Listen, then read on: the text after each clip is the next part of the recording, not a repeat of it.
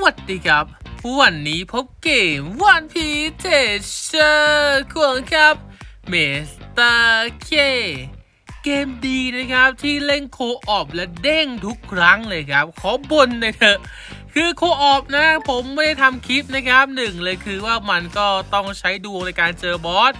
แล้วก็ 2 ใช้ดวงในการเจอคน แล้วก็ 3 ใช้ดวงในการเล่นด้วย เพราะเล่นเล่นๆอยู่มันเด้ง ไม่เข้าใจเหมือนกันว่าทำไมลุงมันทำแบบว่าอย่างเงี้ย มันทำไม่เสถียรน่ะเล่นเล่นๆไปเด้งเออผมใช้เป็น iOS นะครับ มันเด้งมากๆเลยนะถ้าคุณใช้ Android อาจจะไม่เด้งก็ได้มั้ง แต่ตอนนี้ผมโคตรเด้งเลยคือเข้าไปปุ๊บเด้งหลุดโอเค เด้งหลุดเนี่ยเราสามารถกลับเข้ามาในเกมได้เหมือนเดิมแหละ แต่ตอนที่กลับเข้ามา มันจะเป็นการผ่านเทิร์นไปเลยหนึ่งเทิร์นอะไอ้ผ่านหนึ่งเทิร์นนี่แหละ ทำให้เราแพ้ได้ง่ายๆเนาะเพราะงั้นค่อนข้างจะไม่ดีเลยอะมันเด้งเหลือเกิน มาครับวันนี้ครับเป็นข่าวสารของ Treasure Map event ใหญ่กลางเดือนนะแบบเป็นทางการครับได้มาเลยครับซึ่ง skill นั้นผมได้แปลไปในคลิปเมื่อวานแล้วเนาะก็เป็นอุซปในการความทรงจำ10 ปี เป็นลูกเรือของอุซปอ่าน้องหัวหอม น้องพริกไทยและก็น้องแครอทนะครับแล้วคุณคายะนะ 5 ดาวใหม่ 2 ตัว 6 ดาวใหม่คืออุซป 1 ตัวครับแปล skill ไปในคลิปเมื่อวานแล้วนะกาชาใหม่นะครับก็จะมาในวันที่ 15นะครับ10โมงเช้าจบในวันที่ 30 3ทุ่มนะครับอ่ากาชานี้คือกาชาของ Treasure Map นะ คุณคายะอาสามน้อง3คนเนี่ย แล้วก็อุซปเนี่ย คือตัวละครของกาชา Treasure Map นะครับ กาชาทั่วไปตัวฟรีไม่มีออกนะ ถ้าหากอยากได้ต้องเปิดจากกาชา Treasure Map เท่านั้นนะครับ ก็ตัวใหม่อุซปนั่นเลยของกาชาอยู่ที่ 10%นะครับ ถ้าหากคุณเปิดได้ตัวละครใหม่มาก็จะมาแบบเวลเต็ม max ไม้ตายเต็ม max abi รองเต็ม max นะครับอ่าแล้วก็ตัวใหม่อุซบสกิลโอเคแหละ มันค่อนข้างจะอ่าได้อยู่นะครับ อาจจะไม่บอกว่าหวือหวาเหมือนพวก limited หรือฉลองที่ผ่านมา เพราะนี่คือตัวละครของอีเวนต์เนาะมันเป็นตัวละครคนละเกรดกันนะครับ เพราะงั้นสกิลมันก็จะต่างกันแหละอ่าอาจจะไม่หวือหวาแต่ได้ใช้งานแน่นอนของเดือนนี้นะครับ แน่นอนอะร้อยเปอร์เซ็นต์ได้ใช้งานนะครับ คุณคายะกับพวกหัวหอมพริกไทยแล้วก็แครอทเนี่ยก็เอามาเป็นตัวละครอ่า support ของทีมอุซบนะครับ มันเป็นคอมโบกันนะ กาชามี 3 ตู้นะครับ ตู้ 1 มาวันที่ 15 ตู้ 2 มา 16 ตู้ 3 มา 17 นะครับ จบพร้อมกันคือวันที่ 33 ทุ่มนะครับอ่ากาชานี้เปิดครั้งแรก 30 เพชรนะครับ เปิดครั้งที่ 4 ได้ตัวใหม่แน่นอน 1 ตัวอาจจะเป็นอุซบคุณคายะ เหลือเจ้า 3 เด็กซ่านั่นก็ได้ เปิดครั้งที่ 5 นะครับ ใบแดง 1 ใบ เปิดครั้งที่ 7 14 21 นะครับ ได้ตัวละครนะครับ 6 ดาวของเทเชอร์แบบแน่นอน 1 ตัวนะอ่าแล้วก็ครั้งที่ 9 12 16 19เขาได้ตัวละครของ Treasure Map แน่นอน 1 ตัวนะครับ ครั้งที่ 25 ได้เป็นอุซบใหม่แน่นอน 1 ตัวนะ ส่วนกาชาของตู้ 2 ตู้ 3 นั้นข้อแตกต่างเหรอ อืม กาชาตู้ 2 เปิดครบ 8 ครั้ง ได้คุณคายะ 1 ตัว กาชาตู้ 3 เปิดครบ 8 ครั้ง ได้เป็นหัวหอมพริกไทยแล้วก็แครอท1 ตัวนะครับ เพราะงั้นจะหากคุณต้องการจะหา 6 ดาวใหม่แบบการันตี เปิดตู้ 1หาคุณคายะแบบการันตี เปิดตู้ 2 หาเจ้า 3 เด็กซ่า แบบการันตีเปิดตู้3เนาะเขาอยู่แยกกันนะครับ เพื่อความยากแล้วความเกลือที่มากขึ้นนะเมนโคตรโหดร้ายเลย ส่วนเอ่อเจ้า 5 ดาวใหม่เนี่ยก็อยู่กับทุกตู้ใช่ไหมอะใช่ครับ 5 ดาวใหม่เนี่ย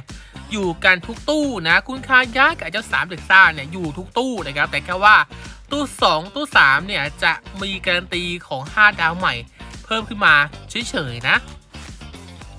ส่วนหลังตู้นะครับหลังตู้หนึ่งนั้นเอ่อตู้หนึ่งนะครับ6ดาวของ Treasure Map ที่เพิ่ม rate ออกนะครับ ก็จะมีเป็นอุซบมีเป็นลูฟี่อาบน้ำแล้วก็ตัวเทพอย่างนามิจังคู่คาริน่าจังกับตัวหนึ่งนะครับลูฟี่ตัวเนี้ยเอาตรงๆนะ ผมลืมไปเลยว่ามันมีอยู่ด้วย เพราะเห็นมาเดือนเดียวแล้วหายลับไปกับตาเลยคนไม่ค่อยใช้งานกันนะครับ แล้วก็ตัวหนึ่งนั้น 3 ตัวข้างบนมันเพิ่ม rate ออก แต่ตัวข้างล่างก็มีด้วย เพราะงั้นตู้หนึ่งนะครับจะมี 6 ดาวของ Treasure Map ครบทุกตัวในตู้นะครับ ทุกตัวอยู่ครบกันในตู้หนึ่งนะของ 6 ดาว Treasure Map นะครับ ส่วน 6 ดาวธรรมดาก็จะมีเป็นน้องอุตะเหลืองอิโชมาเลียอุตินะครับอาคิงม่วงอาโคเคอร์ซอนคู่รอนะครับ อุซบยาซบแฟรงกี้คู่โอเด้งเหลือง อุซบนามิโบอาเหลืองเก่าคาตาคุริแดงเก่าอุซบเขียวเก่าๆนะครับ ส่วนกาชาตู้2ตู้2นั้น 6 ดาวของเทเชอร์แมปจะมีแค่ 3 ตัว คือเป็นอุซบเป็นพี่อาริคุกิวแล้วก็เป็นจินเบนะครับของเทเชอร์แมปนะ6ดาวธรรมดาก็จะมีเป็นเวก้าพังผู้หญิงนะครับ สีม่วงเป็นโมโมโตสองตะลุง ฟูจิแล้วก็ฟูจิอ่าฟูจิคิสรุนะครับฮันจูโร่กลุ่มเจ้าหญิงบาร์กี้คู่แชงประมาณนี้ครับ ส่วนตู้3นะครับก็จะมีเป็น 6 ดาวเทเชอร์แมปได้แก่เป็นอุซบน้องต่ายคู่นายมิจังแล้วก็บอนนี่นะครับ 6 ดาวธรรมดาก็ไปเป็นบอนนี่เหมือนกัน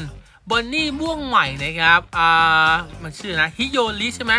ฮิโยรินะครับสีฟ้าใหม่นะครับ กลุ่มของ3อ่ากลุ่มของคาตาคุริแล้วก็เป็นโมโมะมังกรนะครับอืมเปิดตู้ไหนดีล่ะ อ่า มันน่าลุ้นตู้หนึ่งที่สุดแหละ เพราะตู้หนึ่งมันมีการเพิ่มเลทออกของตัวเทพ อย่างนามิคู่คาริน่าเนาะ เพราะงั้นก็ตู้หนึ่งน้าเปิดที่สุด แล้วก็มีการลุ้นหา 6 ดาว Treasure Map อื่นๆด้วย คือข้อดีคือว่าเราลุ้นได้ทุกตัว ข้อเสียคือมันมีเยอะเกินไปทำให้มันเกิดการแย่ง rate กันนะครับ ก็ rate ของกาชา มันก็เยอะเกินไปแหละ มันคือมันมันแย่ง rate เกินไป แต่แค่ว่าตู้หนึ่งเนี่ยไอนามิคู่คาริน่าเนี่ยมันเพิ่ม rate ออกไง ก็เลยน่าเปิดมากๆนะครับส่วนตู้สองตู้สามเหรอ อืมจินเบกับ บอนนี่เนี่ยใช้งานพอๆกันเลยนะ ส่วนเอ่อน้องต่ายคู่นายมิจังเนี่ยผมไม่มีผมเลยไม่เคยได้ใช้งาน แต่ผมคิดว่าคู่ของน้องต่ายนายมิจังเนี่ยดูดีกว่าไอ้เจ้าพี่วัวเขียวเนี่ยลิคุกิวเนี่ยไอ้ที่ดูดีนามิจังดูดีกว่านะครับ เพราะไอ้เจ้าตัวนี้มันค่อนข้างจะจะเฉพาะเจาะจงในการล้างของปิดแก้ว ล้างปิดแก้วนั้นก็ใช้อาบีหลักล้างก็ได้ แล้วก็มีข้อดีการล้างของเผาไหม้เนาะ ราะงั้นผมมองว่าตู้ 3 ดูดีกว่าตู้ 2 นะครับ ก็เป็นตู้ 1 อันดับ 1 ตู้ 3 อันดับ 2 ตู้ 2 อันดับ 3 นะครับ แนะนำประมาณนี้อ่ากาชานี้ควรค่าแก่การเปิดหรือเปล่า ถ้าหากคุณเปิดได้ limited ครบแล้วอย่างเป็นแชงค์เป็นเอสเป็นอ่าโรเจอร์นิกะครบแล้วก็ย้ายไปเปิดตู้ของอาร์ Treasure Map ก็ได้ หาเจ้า นามิจังคู่คาริน่าเนาะได้มาคุ้มมากมันโคตรเทพเลย ทั้งการลงด่านทั้งการเล่นของโหมด PvP เนาะมันโคตรเทพนะครับ แต่คุณต้องให้ได้ พวก limited หรือฉลองครบก่อนนะค่อยย้ายนะครับ เพราะเดี๋ยวกาชาของ limited เนี่ยมันก็ใกล้จบแล้ว จบสิ้นเดือนนี้นะ ก็หลังจากจบไปก็ต้องรอกันเลย อีกสิ้นปีอะกว่าจะกลับมานะครับ ก็ตอนนี้อ่าเปิดหา Limited ก่อน ครบแล้วถึงค่อยย้ายไป Treasure Map นะครับ แนะนำประมาณนี้ครับ เข้ามาขายของกันสักครู่นะครับ ก็แนะนำร้านของ Zombie Lud นะครับ ร้านขาย ID ดองเพชรนะครับ หลากหลายเกมเนาะก็มีทั้งเกมของ One Piece Bounty Rush นะครับ Bleach Brave Souls นะครับแล้วก็บอล Legends Black Clover Solo Leveling นะครับ แล้วก็เกมเรานะครับ ของเกม One Piece Treasure Cruise นะ ก็สามารถมาหาซื้อไอดีดองเพชรกันได้เนาะ ราคาไม่แพงครับแถมมีแบบสุ่มนะครับ สุ่มแบบ 10 เพชรนะ ซึ่งผมเคยสุ่มได้นะครับ สุ่มไม่ยากลองเข้ามาสุ่มเข้ามาซื้อกันได้ครับ ซึ่งลิงก์ร้านค้านะครับอยู่ใต้คลิปนะ หรือคุณสามารถ search ใน Google พิมพ์คำว่า Zombie l u d ก็มีขึ้นด้วยเหมือนกันครับร้านของ Zombie l u d ครับต่อไปครับ อีเวนต์ของ Treasure Map เดือนนี้ครับ ก็จะเป็นของเจ้ามีฮอค5ดาวบวกนะครับ จะมาในวันที่ 9 นะครับ บ่าย 4 โมง จบในวันที่ 23 นะครับ 3 ทุ่มนะ มา 19 บ่าย 4 จบ 23 3 ทุ่มนะครับก็รอบนี้เป็นมีฮอค5 ดาวบวกนะครับ อัปเกรดจากตัวฟรี จากอีเวนต์ของ Pilot King นะ skill คือจะทำ damage ลดเลือดทั้งหมดนะครับ ลงไป 20%ล้างของเกราะสีรุ้ง 6 turn สายดาบ สายธงนะครับ buff effect แก้วไป 2.5 เท่า 2 turn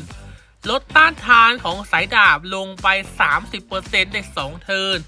ถ้าหากกัปตันเป็นสายของดาบหรือธงจะลด cooldown ของ skill ไม่ตายทั้งหมดให้ 2 turn นะครับ อืม มันก็ดูเรียบง่ายนะ ดูเรียบง่ายและดูใช้งานง่ายดีนะครับ skill ของมันเนี่ย ส่วนอันในโหมดของ PVP เป็นทีมสีเขียวนะครับ สีเขียวเอ่อเพิ่มป้องกันเพิ่มโจมตีสายดาบนะครับเอ่อตี miss ได้น้อยลงก็คือว่าตีพลาดน้อยลงนะครับ ไม้ตายศัตรูระยะกว้างนะครับทำ damage ใส่ไป 2.25 เท่าศัตรู 1 ตัวนะครับที่มี attack โจมตีสูงสุดโดน damage ไป 2,000 ศัตรูที่เป็นสายดาบนะครับที่มีไม้ตายสูงสุดโอกาสติด 100%ปิดไม้ตายไป 5 วินะ ก็เออถ้าหากเออตอนต้องบอกกันว่าพวก 5 ดาวบวกเนี่ย 5 ดาวบวกต่างๆนานาเนี่ยมันใส่ในทีมของ PVP ได้เหมือนกันนะ เพราะ 5 ดาวบวกตอนนี้มันค่าคอสของ PVP เนี่ยมันเหลือแค่ 20ไง เพราะงั้นเลยมันเลยใส่ได้อย่างเช่นเป็น อ่าเนี่ย รถรถดำอย่างเงี้ย มันก็ใส่ได้นะเผื่อว่าทีมของคุณว่างอยู่ ไม่รู้จะใส่อะไรดีก็ใส่พวก 5 ดาวบวกตัวฟรีนี้ไปก็ได้ เพราะค่าคอสมันคือ 20 20 เนี่ยมันคือเท่ากับอ่าค่าคอสของพวกตัวละครของ PVP เนาะเพราะงั้นมันน้อย ถ้าช่องว่างอยู่ก็ใส่พวกนี้ไปเสริมทีมก็ได้ ไม่ใช่ตัวละครหลัก แต่ใส่ไปเสริมทีมก็ได้ดีนะครับ แค่เสริมทีมนะ แล้วก็เออเดือนนี้นะครับก็จะมีกระโหลกของมีฮอคแล้วก็เดือนนี้ในร้านค้าของ t r e a s u r e Map นะครับ จะมีกระโหลกของไอ้เจ้าพวก CP Zero มาครับ 5 ดาวบวกนะ ก็จะเป็นลูจิคาคุสตูซี่นะครับ 5 ดาวบวกมาขายในร้านค้านะ ราคาอยู่ที่อันละ4,000 แต้มนะครับ แล้วก็ด่านของเดือนนี้ขอดูคร่าวๆก่อนนะครับ มันยากหรือเปล่ายังไม่ดูเหมือนกันไหนดูซิ skill ยาวหรือเปล่าขอสั้นๆได้ไหมโอ้โห มันอวย มันอวยอุซปโซโลซันจิโอ้โห ไม่มีทั้งตัวอาด่านของเดือนนี้ครับเผาไหม้เพิ่มเวลาไม่ตายเกราะผ่าครึ่งนะครับมีการบัฟมีการบัฟ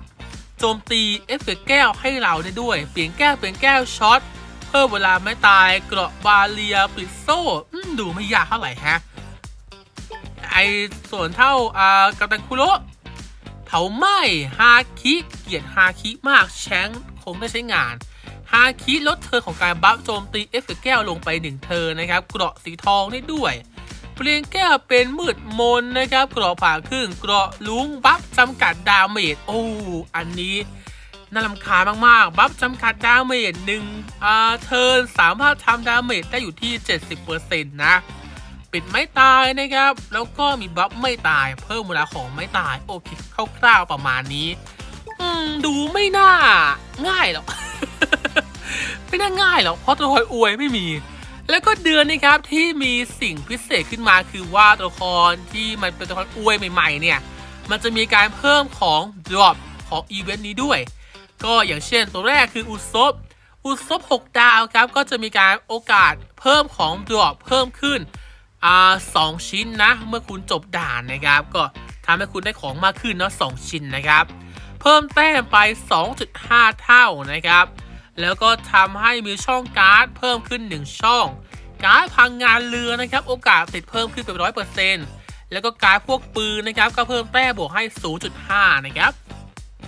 คุณทายานะครับ เพิ่มของดอกเพิ่มขึ้นให้ 1 ชิ้นนะครับ เพิ่มแต้มไป 1.6 เท่า แล้วก็การ์ดพวกปืนโอกาสติด100%นะครับส่วนไอ้เจ้าสามแก๊งอ่าสามเด็กซ่าเนี่ยโอกาส drop เพิ่มขึ้นอ่าหนึ่งชิ้นนะครับ แล้วก็เพิ่มแต้มไป 1.6 เท่า การ์ดของสมบัติโอกาสติด 100%นะครับ มีฮอกนะครับ 5 ดาวธรรมดา เน้นย้ำ 5 ดาวธรรมดานะ 5 ดาวบวกไม่มีการเพิ่มนะครับ 5 ดาวธรรมดา มีการเพิ่มนะครับ เพิ่มแต้มอยู่ที่ 1.4 เท่านะครับการ์ดแมวนะครับบวกอีก 5 นะครับ หนวดดำ5ดาวบวกนะครับ ตัวฟรีของเดือนก่อนนะ เพิ่มแต้มไป 1.4 เท่านะครับ การ์ดของอาสมบัตินะครับบวกให้ 1 เวลนะครับ นอกนั้นนะครับก็จะมีแค่การเพิ่มแต้มนะ ส่วนการ์ดไม่เพิ่มนะครับ ก็จะเป็นโซโล่ซันจิ6ดาวใหม่มีฮอค5ดาวบวก เพิ่มแต้มไป1.4เท่านะ แล้วก็จะเป็นเพิ่มแต้มไป 1.35 เท่านะครับคุอินะเชฟขาแดงนะครับ5ดาวของกาชาอ่าน้องงู 5 ดาวไอ้6ดาวของกาชาคิสนะแคลสแล้วก็เป็นนิกาลิมิเต็ดโรเจอร์ฉลองแชงลิมิเต็ดเอสลิมิเต็ดนะครับ เป็นลูฟี่ม่วงตัวฟรีลูฟี่เขียวอานิกะ5ดาวบวกยามาโตะ5ดาว 5 ดาวบวกรุจิเขียว 6 ดาวบวกนะครับ เพิ่มแต้มไป 1.25 เท่าก็จะมีเป็นรุจิ 5 ดาวบวก แล้วก็พวก 6 ดาวของ Treasure Map นะครับ เอ้ย อ่าเวก้าพังค์ตัวนี้กาชามีไหมปกติเหมือนไม่มีใช่ไหมไม่มีแฮะอ้อแปลว่า ตู้หนึ่งมี Treasure Map ทุกตัวยกเว้นเวก้าพังค์ ตัวเดียวที่ยังไม่อัปเดตมาในตู้ โอ้โห หายาก มีครบแต่ไม่มีเวก้าพังไว้เออนนี่แปลกดีฮะ อ่าแล้วก็เพิ่มแต้ไป 1.2 เท่าก็พวกนี้อ่าเป็นตัวละคอยฟรีเนาะบอสตัวฟรีต่างนานานะครับ เพิ่มแต้ไป 1.2 เท่าอ่าตรงนี้มีเป็นลูฟี่limited 6ดาวบวกด้วยนะตัวหนึ่งอ่าเป็น Treasure Map รูปแบบใหม่ที่พวก 6 ดาวเนี่ยลดน้อยลงมามาก ๆ เลยนะ สังเกตนะครับ 6 ดาวธรรมดาเนี่ยมีน้อยมากเลย เขาจะเป็นเน้นแค่ 6 ดาวใหม่ๆ 6 ดาวเดือนก่อน หรือจะเป็น 6 ดาวของ Treasure Map ซะมากกว่า เพราะงั้นกาชาของ Treasure Map ณยุคสมัยตอนนี้มันจำเป็นมันสำคัญที่ควรจะเปิดกันมั่งเพราะ Treasure Map ณตอนนี้มันลดการใช้งานของ 6 ดาวเก่าๆลงเยอะมากๆทำให้ถ้าหากคุณไม่ได้เปิดกาชาเลย คุณโคตรลำบาก เพราะงั้นก็ต้องเลือกเอาว่าจะเปิดกาชาใหม่ของเดือนนั้นๆ หรือเปิดกาชาของ Treasure Map กันมั่ง เพื่อจะสะสมตัวละคร Treasure Map 6ดาวเนี่ย เอาไว้ใช้ในเดือนต่อๆไปได้ด้วยนะครับ ก็ต้องอถือว่าค่อนข้างจะ